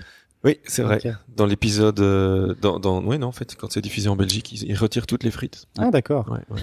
Ben, heureusement pour le moment, on fait pas C'est encore. faux, hein, on, bien sûr, c'est faux. on fait pas encore de testing en langue belge, mais Bah, je le jour que où ça arrivera, euh, on, ra- faudra- on ajoute des frites pour la Nous, oui, Belgique. voilà, c'est ça, on Il faut montrer des frites, Juste. sinon ça marche pas.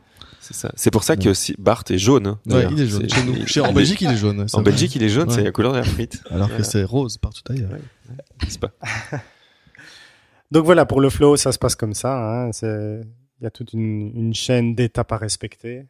Et euh, voilà, c'est c'est pas toujours évident parce que, comme tu peux imaginer, plus tu mets d'intermédiaires. Ouais, plus de temps ça prend, plus ça devient compliqué aussi parce que il faut que, que tout le monde se comprenne quoi. Euh, Qu'est-ce qu'il a voulu dire par là et tout ça? Parce que là, en plus la langue de boulot euh, à la base c'est l'anglais. La langue de Molière. Non, c'est l'anglais. C'est pas le Ah, français évidemment. ok. Donc, la langue de Shakespeare du coup. Voilà. Ouais. Donc tous- les testeurs, quelle que soit la langue qu'ils testent, euh, doivent faire des rapports de bugs en anglais parce que ceux-ci doivent être compris par l'éditeur et les développeurs qui sont anglophones à la base, dans la plupart des cas. Et donc voilà, c'est c'est pas un processus qui est très simple non plus. Et euh, moi, euh, est-ce que tu, tu penses que votre équipe, elle serait ok de traduire cet épisode? C'est quoi comme budget pour une émission d'une heure et demie? Tu crois qu'on en est à combien Alors de ça, millions ça c'est pas à moi. D'une heure quarante-huit. C'est c'est pas à moi de décider. Il y a des personnes qui, au-dessus de moi qui, qui décident ce genre de choses, mais je peux me renseigner. euh, si ça Ok. Ouais, genre après journée, tu vois, vite fait comme ça. quoi. Voilà. Mais comme ça, on peut être écouté parce Oh, que c'est ce que juste t'as traduit, raconté. quoi. Ça prend deux, hein, quoi. On Alors- file le texte et puis tu Ouais, ça- traduis, quoi. Ce qu'on peut déjà faire en attendant, si vous voulez, c'est que je fasse écouter l'émission à mon équipe française, qui, Ah bah voilà. qui ouais. testera donc et qui, qui corrigera un peu toutes les erreurs. euh, Génial. ah ben, on peut faire ça. Voilà. Très bien, bah, Bien super. chouette. Et donc, euh, Est-ce que tu as encore d'autres questions pour toi-même? Puisque c'est toi qui gères ici. pas, pas de questions, mais euh, si ça vous intéresse, euh, j'avais aussi noté un peu tous les tous les types de bugs qu'on peut rencontrer Ah oui, euh, ah, dans un Bah jeu ouais, vas-y, tant qu'à faire. Donc, On euh, fera deux émissions avec celle-ci, on la coupera en deux. Donc voilà, euh, comme vous pouvez imaginer, il y a tout ce qui est euh, bug de langue standard, donc tout ce qui est euh, erreur de grammaire, d'orthographe, de ponctuation.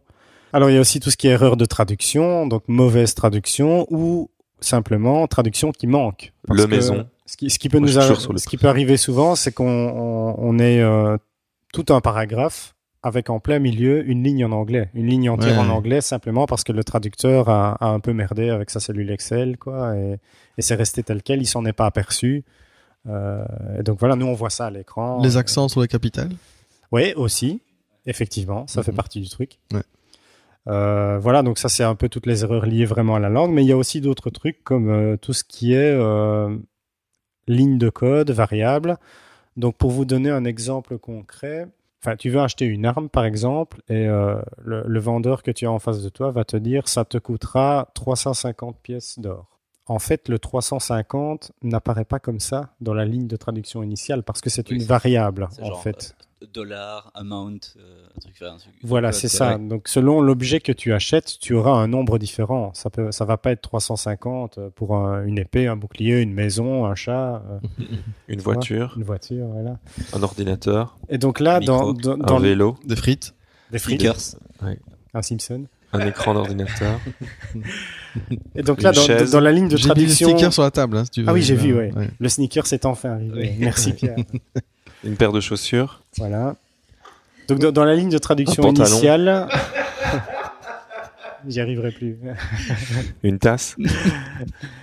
Dans la ligne de traduction Un initiale, euh, tu vas avoir euh, ça te coûtera, et puis alors quelques caractères bizarres, et puis pièces d'or, en fait. Et donc les caractères bizarres qui souvent, euh, ça peut être euh, un crochet, 1% et un, crochet qui ferme, on appelle ça une variable. Euh, c'est des lignes de code qui doivent rester telles quelles parce que après la programmation fait en sorte que ces, trois caractères soient remplacés par le chiffre exact qu'on veut implémenter dans ça, le jeu. Pour la quoi. base de données, il va chercher le, la variable voilà. Maintenant, si le traducteur de nouveau euh, merde un peu avec sa cellule Excel et qu'il, euh, sans le vouloir, il introduit un espace, par exemple, entre Ouais. deux de ces caractères-là, C'est euh, bah, Ah tout, oui, c'est plus considéré comme une variable. Et du Voilà, c'est ça. tout, quel. tout le code est ammerdé, et donc ça va, ça va s'afficher tel quel à l'écran. Tu vas voir un pourcent, et un crochet, quoi. Et donc on doit vérifier ce genre de truc aussi. Genre cette basket vous coûtera crochet pour cent. voilà, euh, exactement. Voilà. au lieu de voir un chiffre. Et c'est vraiment un bug qui, qui, ré- qui arrive régulièrement, en fait. Ok. hein. C'est- Donc voilà, il y a les, les erreurs de, de programmation, comme je disais. Il y a aussi euh, ce qu'on appelle les overflows et les overlapping. Donc, euh, dans un jeu qui a peut-être pas forcément de l'audio, il s'agira surtout de dialogues qui sont euh, incrustés dans des boîtes de dialogue, en fait, ou des bulles ou quoi que ce soit, selon le design du jeu, en fait. Comme vous pouvez imaginer, la longueur d'une phrase n'est pas la même en français qu'en allemand Ah ou en oui. anglais, quoi. Oui. Et donc parfois, une, Ouais. une boîte de dialogue qui a été dessinée euh, juste pour une petite phrase en anglais Ça va pas fonctionner pour le Ça français. dépasse en Voilà. néerlandais, quoi. par Exactement. Le texte va dépasser euh, d'un côté ou d'un autre, ou parfois bêtement il va se superposer euh, parce qu'il y a eu un problème euh, de, de saut de ligne. Donc euh, il y a une Nous, phrase on- qui va se superposer à une autre. C'est le genre de problème que nous, on a quand on fait des brochures euh, bilingues, français-néerlandais. Mais voilà, ça ne Ouais. s'applique pas seulement aux jeux vidéo. Je pense Ouais. que ça arrive Ouais. aussi euh, dans d'autres domaines, quoi. Et donc euh, voilà. C'est vrai, Damien. Oui, c'est tout à fait Ouais, vrai. ouais, Bah, même en radio, hein, les émissions de Ouais. radio en néerlandais Elles durent plus longtemps parce ouais. qu'il il y a plus, de, mots temps pour dire les mêmes phrases. Forcément, il y a plus de Eh oui, mais on parle, en plus on parle en même temps, donc forcément Ouais, ouais, on s'overlappe, tu vois, oui, c'est de l'overlapping. Quand on parle en même temps, là, il y a de l'overlap, là, il y a de l'overlap. Là, il y a de tous en même l'overlap, temps, donc c'est absolument pas possible. Évidemment. Et Ça, vous le réglez comment dans ce cas-là, en vrai Ça, c'est la NVA. tout Comment dis-tu Comment est-ce que vous réglez ce genre de problème, justement Alors là, là c'est rechanger, trouver une autre façon de traduire la phrase de manière plus courte ou bien voir avec eux pour qu'il y ait une, une deuxième apparition de la suite du texte enfin, ce- Alors les deux sont possibles. En général, euh, on, nous de- on nous demandera toujours de préférer la solution euh, La plus simple. bah, au niveau du texte en La tout cas, parce que c'est c'est plus simple pour les, les développeurs de juste d'incruster un nouveau texte plutôt que de devoir redessiner une boîte qui est trop petite Ouais. ou quelque chose comme ça. Donc euh, en général, ils vont demander est-ce que vous pouvez raccourcir en fait? Cette phrase est trop longue. Enlever peut-être un mot ou deux qui sont superflus. Et donc, de manière à ce que ça entre parfaitement. Réduire l'approche. Maintenant, il y a- voilà, il y a, y a des, plus petit. voilà, il y a, il y a des fois où c'est pas possible en fait Ouais. parce que le, le texte de base est déjà très succinct. euh, chaque mot est important pour donner l'information aux joueurs. Donc là, alors on va peut-être leur dire, euh, on ne peut pas raccourcir plus que ça. Est-ce que de votre côté, vous arriveriez à peut-être réduire le font en français? La, La- police d'écriture. La police, La voilà. police, ouais. Réduire la police ou élargir la boîte de dialogue. Ça fait partie des, des propositions aussi, mais ils sont toujours un peu plus frileux par rapport à ça, évidemment, parce que ça implique un peu plus de boulot au niveau développement. Quoi. Oui, mais après, euh, si la phrase, euh, vous, vous l'avez réduite et que ce n'est plus que je éléphant, Voilà, c'est ça, ça veut exactement. plus rien dire. Euh, voilà. Exactement, tout à fait. Tu, vois, tu comprends plus. Pourquoi Pour que je éléphant. C'est ça. Très bon exemple. C'est un bon exemple. Hein. Voilà. Je, je vois depuis le début que t'aimes bien Mais mes depuis le exemples. début, depuis le début. Ouais. Bons exemples. Alors, il y a aussi tout ce qui est incohérence. Ça, on, Je éléphant. ça, on n'y pense pas forcément. voilà, jeu éléphant. Euh, prendre un bête exemple. euh, voilà, si euh, un jeu est envoyé à plusieurs traducteurs en simultané, parce que forcément, il y a des projets qui sont tellement énormes qu'une seule personne ne peut pas le gérer, comme vous pouvez imaginer. Quoi. Des fois, il- c'est des centaines de mille de mots, donc euh, Ouais. il faut que ce soit divisé entre plusieurs traducteurs. Euh, voilà, on a un personnage dans le jeu qui s'appelle John. Un traducteur va peut-être le laisser tel quel en anglais John. Qui s'appelle comment? Et Le un autre, traducteur. un Il va autre, traduire Jean. un autre va, voilà, va peut-être le franciser et l'appeler Jean. Voilà. Le problème, c'est que après, quand toi tu vois ça en jeu, tu vois une ligne de dialogue où on s'adresse à John et tout de suite la ligne de dialogue après où on s'adresse à Jean. Là, voilà, il y a une erreur d'incohérence. Il faut signaler ça aussi. Et alors là, il y a un travail aussi de vérifier la même euh, occurrence dans tout le jeu. Est-ce que John avait bien été appelé Jean partout ou John partout? Quelle solution est-ce qu'on choisit? Et si on l'a choisi, il faut que ce soit comme ça partout, en fait. Tu vois, c'est en lien avec le début de l'émission où on allait t'appeler Michel, Mika ou Michael. Exactement. Ah Ouais, du coup, il ouais, faut que ça. Tu vois le lien Est-ce qu'on a pris une décision par rapport à ça ou pas? Moi, je vais t'appeler Michel à Mika. Ouais. Ok. Tant que c'est tant que c'est cohérent, c'est ce qui compte. Et pour finir, alors, un truc qui qui n'est pas des moindres, qui a son importance aussi, parce que on, on- on parle toujours d'une optique de business, d'argent ici. Euh, Il y a le problème de tout ce qui est terminologie euh, propre à Là, c'est plus un discours qui se fait euh, sur les consoles, en fait. Sony, Nintendo, Microsoft euh, ont toute une liste de terminologie propre à leur console. Pour les boutons, hein, ce genre de veux C'est ça, Ah, exactement. Tout ce qui est commande, tout ce qui est euh, accessoire d'une console ou, ou même une, une partie d'une console, quoi. Euh, ils ont de la terminologie propre qui, si elle n'est pas utilisée, peut créer des conflits. Comme par exemple, parce que j'arrive pas. Dans ma tête, j'imaginais que c'était juste un, un logo de bouton Xbox ou un logo de bouton Switch à remplacer. Voilà, mais ça, ça peut tout, tout à fait être ça. Alors il faut savoir que quand un jeu vidéo sort sur le marché, pour ce qui est des consoles, euh, on peut pas le sortir comme ça en claquant des doigts. Euh, L'éditeur doit d'abord soumettre euh, à un des trois euh, Acteur. grands acteurs de- des consoles euh, son jeu pour voir s'il est bien conforme à toute la terminologie de, de Sony, de Nintendo ou de Microsoft. Et alors là, ils, ils vont passer, si tu veux, une sorte d'examen, en fait, qu'on appelle la, la certification. Ça veut dire qu'il y a des gens euh, chez, on va prendre l'exemple de Sony, il y a des gens chez Sony qui sont spécialisés là-dedans, qui vont prendre le jeu et ne tester que ça, en fait, du début à la fin. Tout ce qui est terminologie, qui se Ah, rapporte Euh, à, à à leur PlayStation, voilà. Et s'ils trouvent la moindre erreur par rapport à ça, ça veut dire que la, la- ben oui, en gros c'est ça. La, Ouais. la- la certification, euh, tu la passes pas, et ça veut dire que tu reprends ton jeu et tu recorriges tout ce qu'il y a par rapport à ça. Comme avec euh, tes études. Oui, c'est ça. C'est un genre d'examen effectivement. un Mais le, problème, tu dégages. voilà, le problème c'est que l'éditeur paye euh, Sony pour faire ça et pas un peu quoi. Donc il a tout intérêt à ce que son jeu soit propre dès le départ. Parce Ouais, ouais. que si tu dois repasser la certification par après, tu repayes encore le même montant euh, jusqu'à ce que le jeu soit clean. C'est comme pour les mises à jour. Je crois que j'ai déjà entendu dire que euh, faire des, euh, propager une mise à jour sur une console, tu payes. Enfin, le- le- le- L'éditeur. l'éditeur paye pour pouvoir propager ce truc et que donc tu as intérêt à pas en faire trop ou en tout cas en faire des utiles ou, euh, ou c'est pour ça que parfois tu attends un moment avant qu'il y en ait une qui sorte pour régler un petit problème. Tout à fait, voilà. Donc t'imagines euh, encore tout le business qu'il y a là derrière, quoi. Donc c'est pour ça que c'est une part vraiment très importante de notre travail. D'ailleurs, souvent quand on fait toute une phase de testing, on, on nous met la pression plus pour tout ce qui est terminologie que pour tout, le- tout le reste, parce que c'est le truc qui peut Ah, vraiment faire ouais. perdre des sous à l'éditeur, quoi. Et euh, des fois, ça peut être vraiment une petite bêtise, mais qui, qui a déjà fait recaler des gros projets. Euh, je ne sais pas moi si par exemple euh, PlayStation Hat Network était écrit sur le hat, tu vois. Ah, ça peut être une bêtise du genre. là j'invente, hein, euh, vraiment quoi. Si c'est écrit sur le hat, ben pour eux ça passe pas, en fait, tu vois. Et donc là, tu dois carrément refaire quoi, euh, revérifier que c'est bien écrit partout. Tout à l'heure, tu as pris l'exemple de- d'une icône de bouton de contrôleur. Ça aussi, c'est un truc euh, gravissime si jamais euh, dans un jeu, ben voilà, les éditeurs, Xbox. voilà Ouais, exactement, les éditeurs développent Ça, c'est le, le- même c'est jeu. leur pour- identité en même temps. Tu Oui, vois, tout c'est- à fait, exactement. C'est très grave. ouais. Les éditeurs développent le même jeu pour euh, les trois plateformes en général, en même temps, donc pour Sony, pour Microsoft. Et donc, il peut arriver que euh, tu vois une icône d'un bouton PlayStation sur le jeu Xbox, quoi. Alors là, le... Quelle catastrophe. Les Ouais. trois plateformes, c'est pour le rappeler? Les trois plateformes. Nintendo, Sony, Microsoft, donc euh, Ah oui, c'est ça.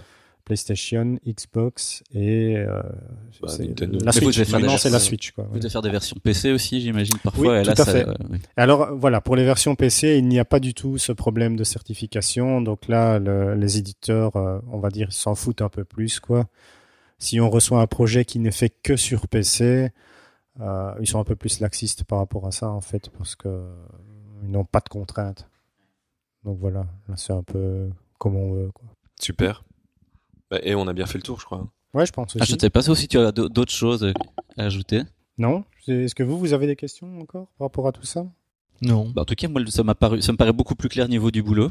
Parce Ouais, que enfin, j'imaginais euh, rien, en fait. J'ai juste, je crois que j'ai déjà entendu un ou l'autre podcast sur des gens qui étaient, qui faisaient des voix pour, euh, pour des jeux vidéo et qui parlaient, eux, de la contrainte de ne pas connaître la situation, le contexte, ni même l'image, et que ça, ça donnait lieu parfois à des, des questions-réponses dans un jeu qui n'avaient rien à voir les uns avec les autres, pour lesquels ils sont critiqués, mais pour lesquels ils n'en peuvent rien. Voilà, tout à Mais fait. j'avais aucune idée du reste. Je Du coup, euh, je suis euh, Voilà. enchanté de savoir. Mais Amy, je me demandais juste si toi, tu avais des partic- particulièrement bons souvenirs de jeux sur lesquels tu bossé ou des trucs dont tu es particulièrement fier ou si foncièrement ça reste un peu pareil tout le temps, ou si tu ne peux juste pas en parler. Ben, s'il s'agit de projets qui sont déjà sortis, oui, je peux en parler sans problème, en fait. Euh, ben oui, quand tu as ton nom qui est associé à, à des gros projets, ben c'est toujours euh, c'est toujours sympa évidemment parce que c'est quand même un peu euh, c'est aussi un, bo- un- un boulot de prestige quelque part, hein, en fait. Même Mais t'as si- quelques noms de jeux auxquels t'as participé en dehors de Wolfenstein et de, du coup, j'imagine, des autres trucs euh, Bethesda? Ben voilà, j'ai déjà bossé dans le passé sur un, un projet Pokémon, par exemple, pour euh, pour la Nintendo DS, en fait. Et donc voilà, ça c'est des projets assez prestigieux parce que c'est c'est des jeux euh, hyper populaires Ouais, ouais. évidemment euh, dans le monde entier quoi. Et euh, voilà, en tant que testeur, quand tu bosses sur un projet, bah tu as aussi ton nom dans le générique du jeu quoi. Comme comme au cinéma, tu vois donc euh, Qui sont d'ailleurs très longs en général. voilà, qui jeux. sont très longs. Donc, tu as, toujours cet honneur d'avoir le nom dans les crédits, quoi, à la fin. Et euh, ouais, j'ai j'ai bossé sur quelques, quelques projets que j'ai vraiment kiffé et qui étaient, qui étaient assez importants, notamment un que j'avais vraiment, vraiment bien aimé, c'était, euh, je sais pas si vous voyez le film Riddick avec Vin, Vin Ah ouais, Diesel. ouais, les chroniques de Riddick. Ah oui, Voilà, c'est ça. Ouais. A- quelques- C'est c'est pas tout jeune, ça, comme jeu. Non, c'est pas Ouais. tout jeune. Hein. C'était il y a quelques années déjà, mais c'est un projet que j'avais particulièrement kiffé. Je sais pas parce que j'avais vraiment bien aimé le jeu. Il était super bien fait et euh, euh, j'étais content d'avoir mon nom dedans parce que là, là, c'était, on parlait carrément de, de studio de cinéma en fait, hein, parce que le, le jeu était même même la partie jeu vidéo était gérée par euh, Universal en fait. quoi. Ok. Donc euh, ça le fait quand même aussi au, ouais, au ouais. niveau du CV, comme tu peux imaginer. Quoi. Et voilà. Donc sinon, ouais, les, les projets Bethesda en général, j'aime bien parce que c'est des jeux vraiment de très très bonne qualité. Ouais. Et quoi. ça doit prendre un temps dingue aussi, en fait, les jeux Bethesda, parce que c'est toujours tellement gigantesque. que- Tout à fait. Là, on parle de période de testing qui s'étale euh, sur sur plusieurs mois en fait. Hein. Ça peut être 6 7 mois et il y a il y a des cas de jeux qui sont même pratiquement infinis parce qu'on rajoute euh, des DLC, du contenu euh, chaque année quoi. DLC pour euh, Pierre, rappelle un peu ce que c'est? Downloading content. Ok. C'est quand tu repayes encore après avoir déjà payé pour avoir Oh une là suite. là là là. C'est du business hein, évidemment, c'est Ouais, devenu ouais, ça. ouais. hein. Bah, c'est une upgrade, quoi. Voilà. Ouais. Donc en gros pour le même jeu, on va développer un nouveau niveau. Et euh, si t'es trop fan de jeu et que tu veux absolument encore jouer à des, des nouveaux trucs, ben tu vas mettre un peu d'argent pour télécharger un nouveau niveau qui vient d'être fait. Moi, j'avais même pas fini le Zelda, et puis j'ai quand même acheté le DLC. J'ai fait pareil et j'ai toujours pas joué au DLC. Bon entre vous et moi, je vous avoue que j'adore pas ce genre de pratique, quoi. Euh, mais Du bon, DLC Ouais, Ouais. c'est un peu. Bah, DLC, on peut dire que c'est dans le cul. ah, pas mal, ouais. Ouais, effectivement. Moi, ce qui me rend fou, c'est C'était ma contribution du jour. T'es pas loin de la Pas mal. vérité en disant ça, je pense, parfois. quoi. Mais bon, voilà, dans notre cas, ça nous fait euh, du boulot euh, de manière constante. Ouais, quoi, ouais, donc, ouais. euh, je vais pas m'en plaindre non plus, quoi. Eh bien, chouette. Bah, c'est super. Allez. Euh, Tu veux clôturer? je clôturais en, simplement en, en disant comment est-ce qu'on devient testeur de localisation En ayant fait... pour ceux que ça peut intéresser dans les auditeurs. Donc, quoi. faut rater IAD. Voilà. Un an de commu à Liège. Avant ça, il faut faire de la musique Ah oui, avec Damien. avec Damien, parce que Damien, c'est Monsieur Univers. quoi, Ouais, hein, c'est ça, exactement. C'est exactement. C'est le ministre de la musique. Euh, ben en fait, il n'y a pas d'études, pas de diplôme euh, spécifique pour ça. Simplement, il faut être passionné déjà à la base de jeux vidéo et d'avoir une certaine maîtrise de sa langue maternelle. Parce que euh, ben, dans toutes les boîtes où j'ai bossé, ben, toujours il y a quand même un, test pour y entrer. On te fait faire un test de langue. En fait, Euh, aussi bien en dans ta langue maternelle que en anglais, vu que l'anglais est la langue du boulot aussi, quoi. On te demande pas forcément toujours de, faire de la traduction pure et simple, mais tu dois être quand même capable de, traduire des trucs si on te le demande. Donc il y a quand même une partie de traduction malgré tout, il y a une partie de relecture, de vérification. Donc voilà, les conditions, c'est simplement être bon, dans notre cas, c'est être bon en français, être bon en anglais, être passionné de jeux vidéo et avoir aussi un peu le, le sens du détail, être assez perfectionniste euh, pour... Voilà, C'est tout, moi. C'est dans quel pays que tu bosses, toi dit? Alors là, ris, toi. là maintenant, je me trouve en Italie. Ok. Ma boîte est basée en Italie. Euh, mais j'ai un peu tourné le monde euh, pour ce boulot parce que j'ai bossé pour plusieurs boîtes différentes. Donc j'ai commencé au Canada. J'ai eu la chance d'y rentrer parce que ils cherchaient pas forcément des gens qui avaient une expérience derrière. Ils, cherchaient simplement des gens qui maîtrisaient leur langue, Mhm. tu vois. Parce que pour chaque langue, ben, forcément, ils, ils veulent des mother tongue, Ouais. Euh, Euh, langue langue maternelle. Voilà.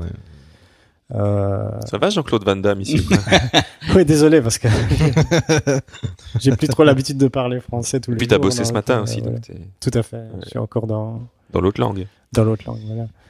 Donc oui, voilà, c'est ça les conditions surtout. Hein, c'est d'être fort dans, dans sa langue maternelle, savoir un peu d'anglais quand même, et voilà, être passionné. Donc si s'il y a quelqu'un que ça intéresse euh, dans les auditeurs, dans les Mais quoi, il y, a des- il y a des débouchés. euh, Dans le jeu vidéo. dans le jeu vidéo, ça a des débouchés. Je te l'ai dit au début, hein, moi je prédis un grand, un grand avenir. Hein, on vidéo. dire, ah oui, c'est vrai. Je Oui. sais pas pourquoi j'ai pris un accent. Moi non plus, je sais pas. ok, bah c'est Petite super. chose, une dernière petite chose d'ailleurs, euh, s'il y a des gens que ça peut intéresser dans les auditeurs, parce que d'après le, le post- podcast précédent, j'ai cru comprendre qu'il y avait au moins quatre ou cinq auditeurs. Oui. Ouais. ouais, ouais. Il n'y a pas que nous. Il n'y a pas que nous.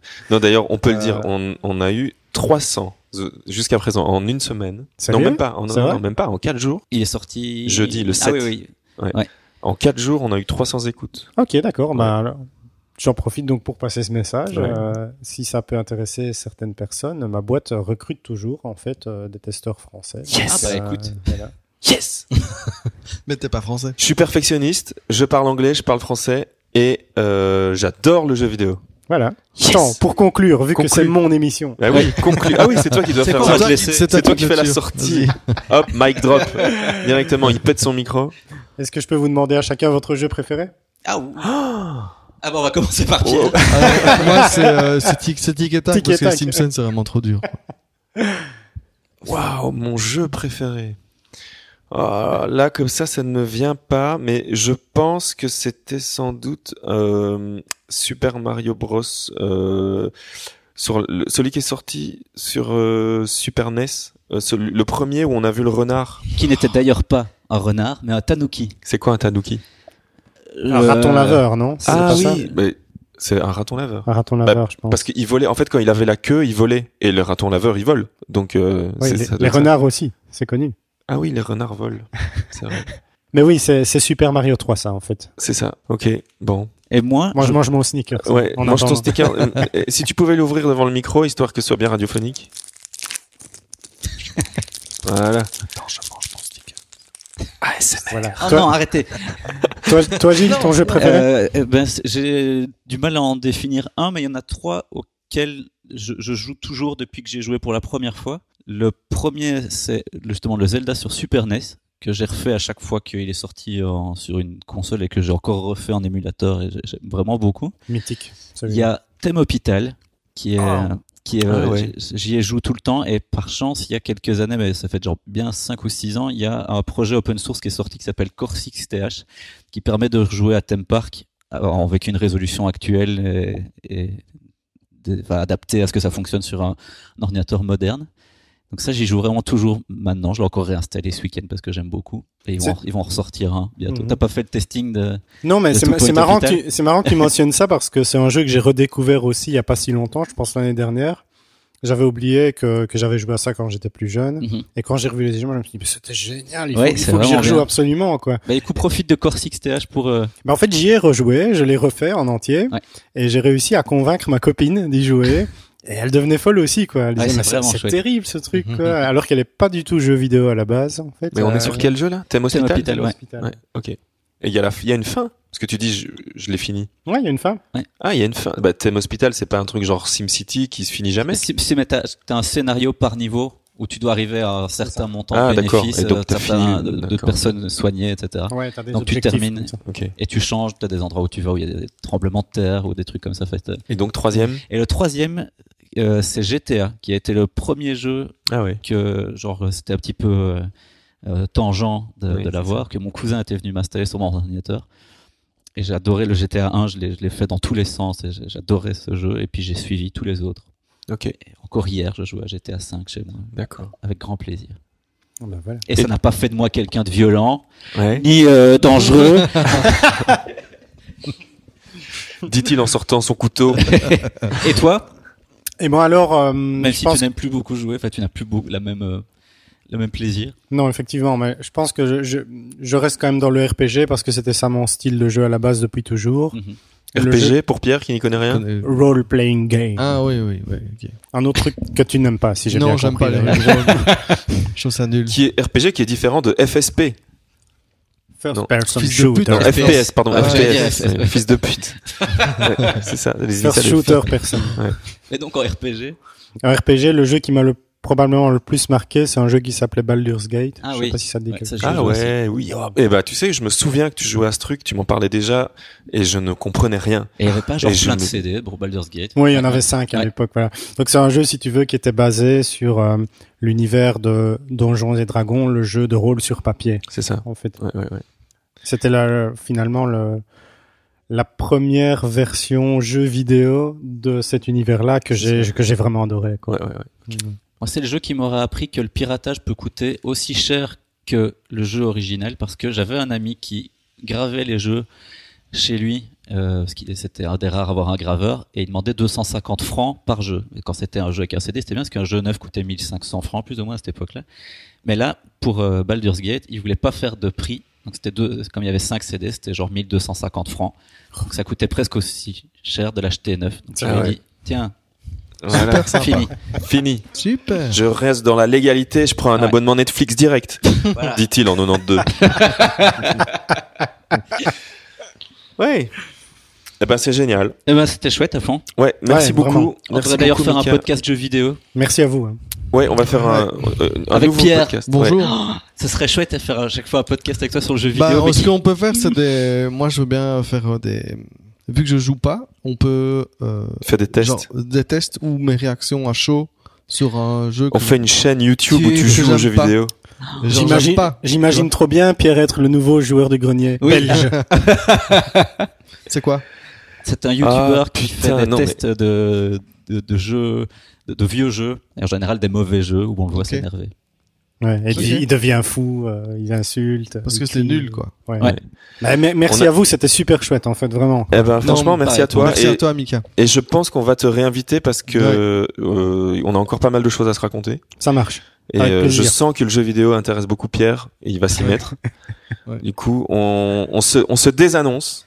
On, bah déjà, on vous remercie d'avoir écouté le premier épisode avec autant d'assiduité et de d'engouement et de phosphorescence.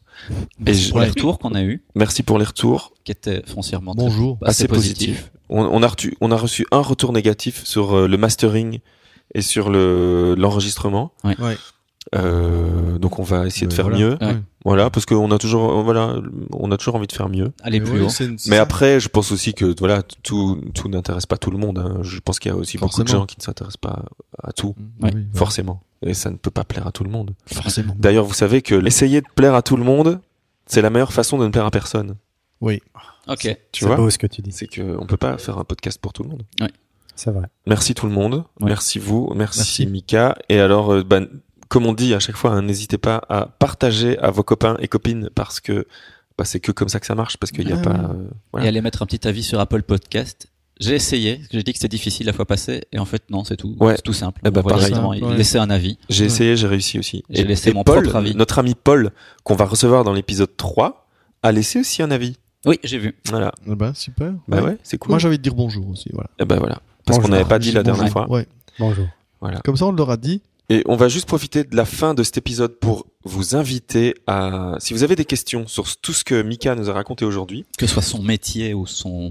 ou le jeu vidéo en vidéo. général, ou parce que on voilà, on s'est rendu compte que c'était quand même assez intéressant cette discussion. Et Mika, qui va retourner euh, en Italie seulement à la fin du mois, comme il reste encore un peu dans le coin, va revenir nous parler.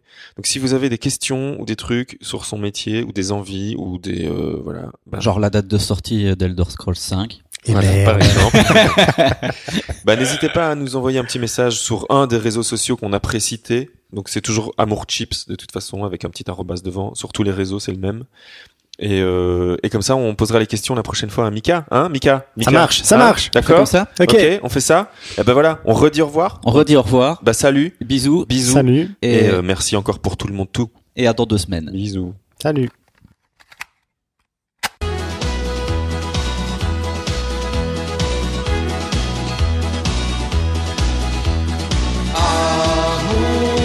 Chips, chips, chips, chips.